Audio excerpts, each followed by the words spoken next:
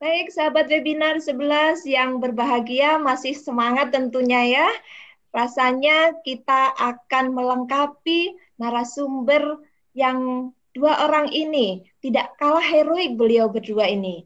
Kalau kita tadi sudah menyimak perjuangan beliau di rumah, di lingkungan rumah ya, ternyata ini ibu yang satu ini sebagai pimpinan pondok pesantren, beliau akan melakukan perjuangan di dalam pesantrennya. Beliau membuat surga pesantren di dalam pesantrennya sehingga anak-anak menjadi kerasan di sana dan tidak ada rasanya itu sedang pandemi COVID, Bunda Wiwi.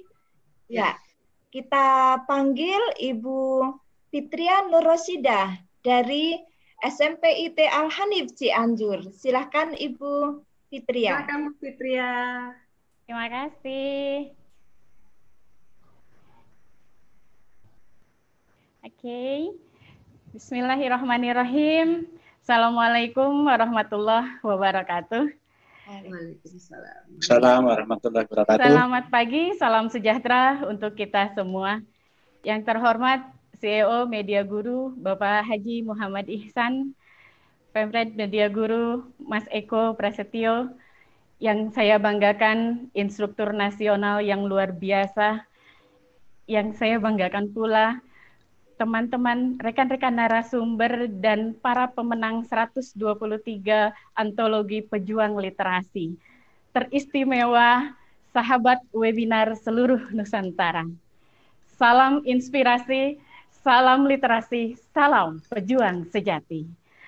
Perkenalkan, saya Fitria Nurosidah, Kepala SMP IT Al-Hanif.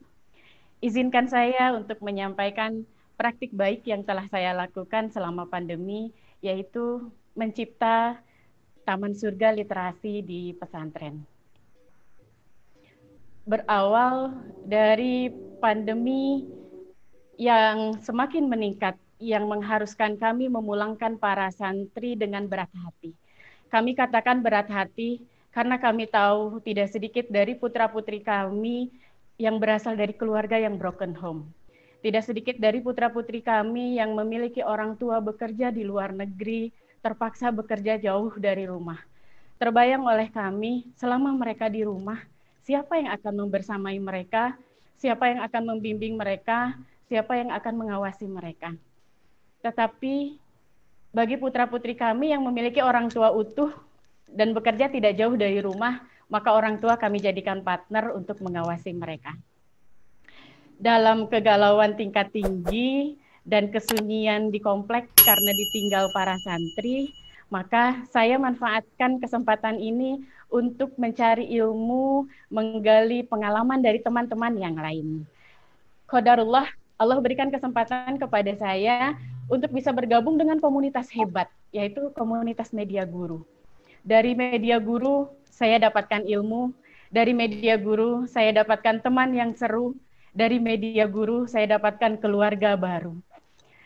Menjelajah dari satu webinar ke webinar yang lain, dari satu dan yang lain, menginspirasi saya untuk mencipta Taman Surga Literasi di pesantren. Strategi yang saya lakukan untuk mencipta Taman Surga Literasi di pesantren yang pertama yaitu dengan menyiapkan sarana dan prasarana. Saya menyiapkan beberapa rak buku, mengisi rak buku dengan kurang lebih 300 judul novel yang terhits dan terkini yang disesuaikan agar bisa dikonsumsi oleh para santri.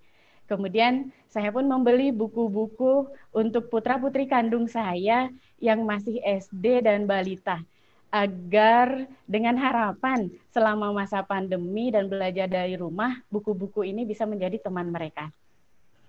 Setelah itu, saya menyiapkan dan memasang tenda Bapak Ibu semua, sahabat semuanya. Tenda, dua tenda saya pasang, yang pertama tenda peleton, yang kedua tenda dapur.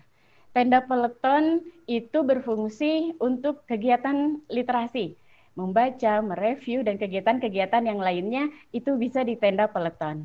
Yang kedua, tenda dapur. Di tenda dapur inilah uh, saya menyiapkan perlengkapan masaknya, saya menyiapkan bahan-bahan masaknya. Ini dipergunakan nanti untuk para tamu dan para santri yang datang ke Taman Surga Literasi. Setelah itu pun saya menyusun program karena di sekolah saya adalah kepala sekolah, sedangkan di pesantren saya adalah pengasuh pesantren sekaligus ketua dewan santri. Dewan santri adalah santri setara mahasiswa yang dikuliahkan oleh pesantren menyusun program dengan harapan ada sinergi yang baik, ada sinergi yang tercipta antara pesantren dan sekolah. Ada sinergi yang baik antara guru dan santri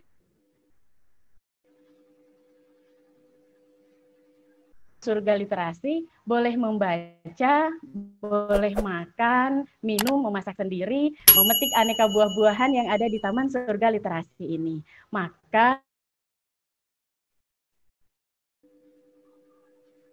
kami di, dengan dikaitkan dengan wabah pandemi ini yang mengharuskan menjaga jarak, maka kami syarat yang pertama untuk masuk ke taman ini mereka harus menghafal Al-Qur'an satu juz Anak-anak yang sudah menghafal satu juz Al-Quran, mereka boleh masuk dengan luasa ke Taman Surga Literasi ini. Nah, makanya ketika di Taman Surga Literasi ini, mereka boleh memasak sendiri. Saya sediakan dapur itu untuk mereka memasak sendiri.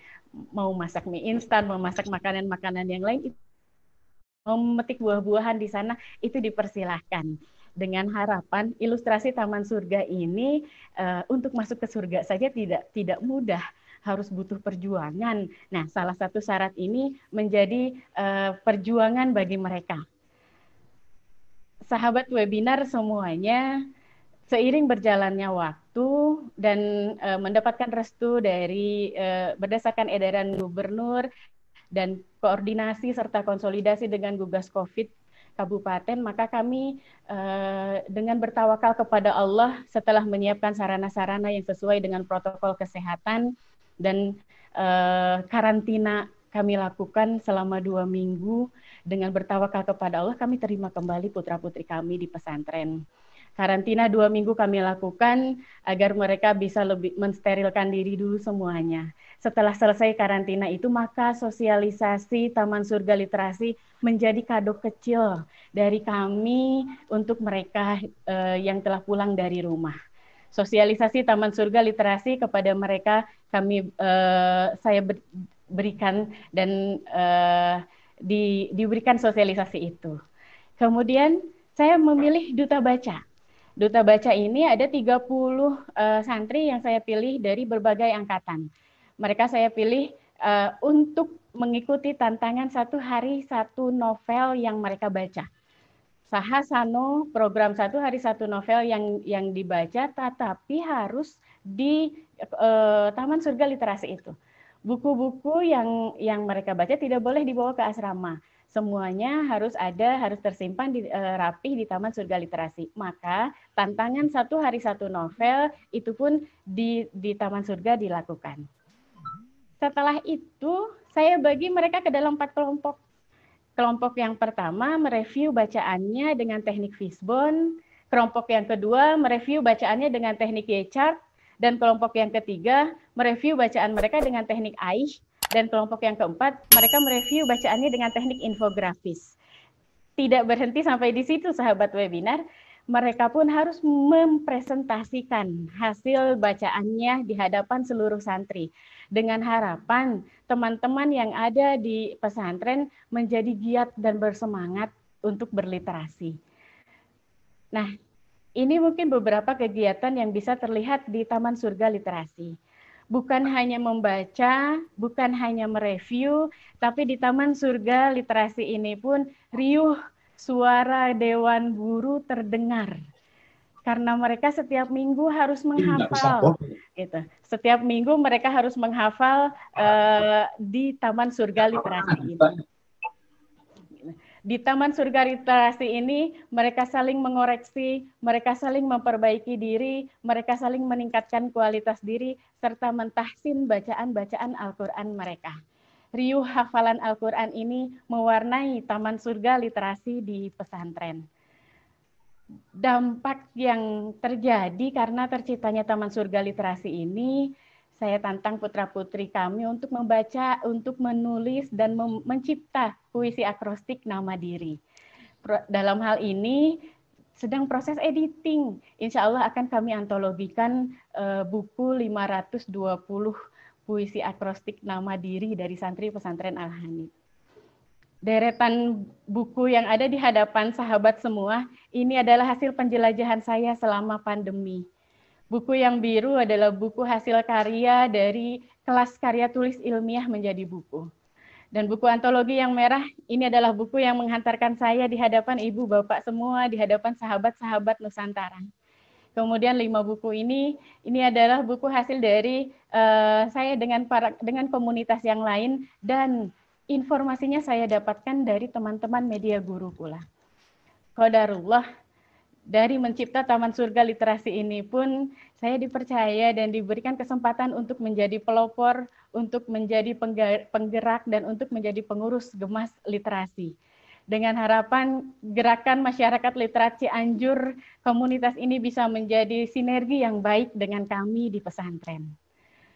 Bapak Ibu semua, sahabat-sahabat webinar seluruh Nusantara, saya mohon doa dari semuanya. Semoga Taman Surga yang ada di pojok komplek pesantren bisa memberikan karya-karya untuk peradaban bagi bekal di akhirat kelak. Pejuang literasi sejati tidak mengenal kata mati untuk menemukan inovasi, mengokohkan jati diri, mengharap ridho ilahi. Terima kasih. Assalamualaikum warahmatullahi wabarakatuh.